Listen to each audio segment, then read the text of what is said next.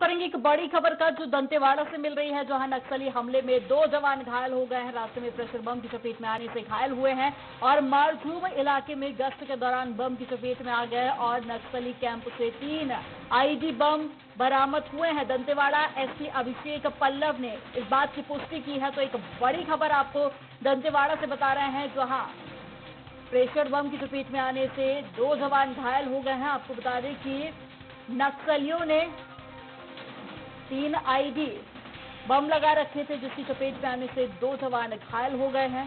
तो एक बड़ी खबर आपको दंतेवाड़ा से बता रहे हैं। और एसपी अभिषेक पल्लव ने इस पूरे मामले की पुष्टि की है। तो इस वक्त की बड़ी खबर दंतेवाड़ा से आपको बता रहे हैं, जहाँ नक्सली हमले में दो जवान घायल हो गए हैं। रास्ते में प्रेशर बम की चपेट में आने से जवान घायल हुए हैं और मारचूम इलाके में गश्त के दौरान बम की चपेट में आए हैं जवान और नक्सली कैंप से तीन आईडी बम भी बरामद हुए हैं और इस पूरे मामले की पुष्टि दंतेवाड़ा एसपी अभिषेक पल्लव ने की है। तो आपको बता दें कि दंतेवाड़ा एक नक्सली प्रभावित इलाका है जहाँ पर लगातार इस तरह के मामले सामने आते रहते हैं। कई बार इससे पहले भी आईडी बम वहाँ पर लगा चुके हैं नक्सली।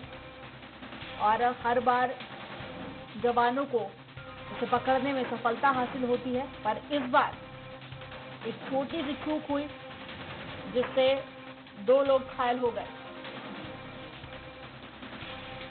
और इसी पर सारा जानकारी के लिए हमारे साथ में संवाददाता पंकज सिंह जुड़ गए हैं। पंकज, क्या कुछ ताज़ा अपडेट?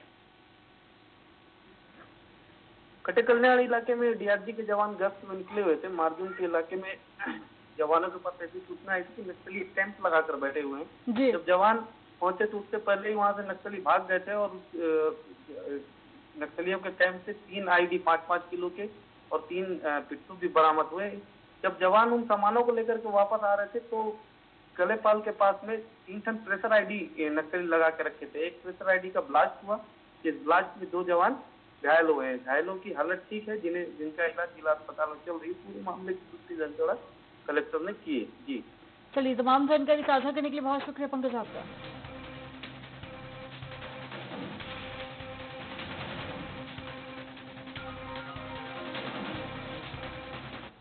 और मध्य प्रदेश के मुख्यमंत्री